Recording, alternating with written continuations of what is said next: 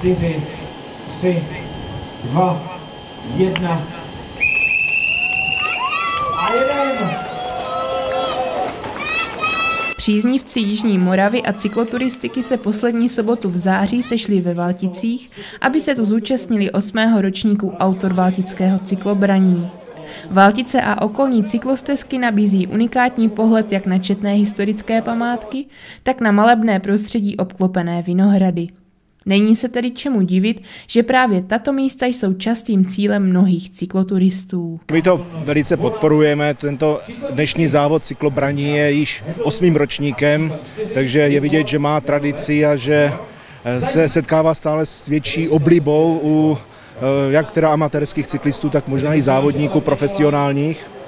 No, jako k Valticím cykloturistika, cyklistika patří, protože Lednicko-Valtický areál vlastně se dá obět během několika dnů na kole a je to takový vděčný dopravní prostředek, který se tady hojně používá. A co říkáte na letošní trasy a neláká vás některá z nich? No, já jsem si několik ročníků projel, takže láká mě to. Letošní trasa je těžká, jako ostatně každá, protože její součástí je i tady výšlap na klonádu Rajsna, který je hnedka, dá se říci, po startu. No, letošní ročník je, myslím si, že vyšlo počasí, není prašno, zaprašilo v září, takže myslím si, že to bude velice pohodová jízda pro všechny závodníky. Změna termínu letošní ročník neovlivnila nějak negativně.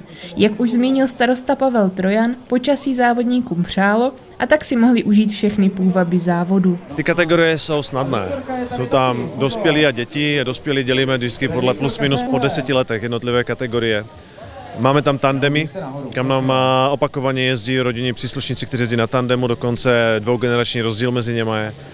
A děti. Děti závodí vždycky první ráno, dopoledne, až od nějakých 14 let, až po nejmenší prcky, kteří mají odrážedla odráží se jenom cílovou rovinku. Dali jsme změny na letošek, které ale opravdu už nechceme nikam posouvat s malou výjimkou, že jenom otočíme jednu část trasy do protisměru a vedli jsme lidi víc jakoby na, směrem na Mikulov, aby viděli Pálavu, aby viděli víc těch památek nemilých po pohraničících, které nám zase paradoxně ale pomáhají, protože se po nich krásně jedou jako závody. Pane Balgo, prozraďte nám, kdy byl ten prvotní impuls, proč jste se rozhodl založit tady tento závod?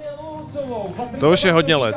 To bylo ještě v době, kdy jsem víc jezdil sám na kole a přestal jsem jezdit všechny ty oficiální turistické stezky a začal jsem jezdit křížem, krážem všude a objevoval všechny tady ty krásy mezi Vinohrady a všechny průpojky, které lidi moc neznají. Proto se lidi hodně z celé republiky znají. Před chvíli mi to říkal kamarád dokonce tady z Břeclavy, že proč je tam tolik kopců. Ale my tady ty kopce máme, ale mě tady nádher, jsou nádherné výhledy kolem dokola na Rakousko, Mikulov, Břeclav a tak dál, takže to byl ten prvotní impuls a je to tak dobrých 15 let zpátky, kdy byl první impuls. A jak jste spokojen během těch 15 let s vývojem závodu? Jsme spokojeni, já řeknu, je to srdcařina. Z začátku to bylo super, když jsme jezdívali ještě s jiným seriálem kol, pak jsme se osamostatnili, protože jsme vždycky byli vlastní závod. Prošli jsme si trošku takovou katarzi, jezdíme teď v novém seriálu v Autor Marathon Touře, ale furt plníme to, co jsme si předeslali. A to, že z toho chceme dělat tradici, aby sem lidi v září v období Babiho lita přijeli, na kolech si trošku projeli okolo, viděli trošku saletu a příštím roce prostě se jim to líbilo. Před chvíli jsem mluvil s pánem z Plzně, který to byl úplně unešený. Výhercem letošního ročníku se stal Petr Lechner z Hodonína, který se sice specializuje na silniční závody, vody, ale trasa Valtického cyklobraní ho přesto nadchla. Trasa je super, samé vinohrady, rovinky, žádná velká technika, žádné hrozné sjezdy, všechno na mě, jo. Silný vítr, studený, taky jako silničář, mě to nevadí, takže já si myslím, že všechno hrálo dneska mě do karet. Já jsem to poprvé, já jsem silničář, horské kola vůbec nejezdím, ale jelikož bydlím nedaleko v Hodoníně, tak jsem se chtěl vždycky chtěl zúčastnit a momentálně nemám žádné jiné závody, tak jsem rád, že jsem to stihl, že jsem mohl zde startovat. Jedna. No a pan starosta Pavel Trojan nám odstartoval i pohodovou stezku tady v rámci 8. ročníku Valtického cyklobraní 2018. Vychutnejte si to, jak se sluší a patří. Tento závod má i bohatý doprovodný program, je tomu tak i letos? Bude tomu taky letos. Máme tu krásnou, až eufemisticky krásně nazvanou soutěž o nejlepší šlapku, kdy lidi závodí ve šlapání hroznu, což je velice divácky vděčné.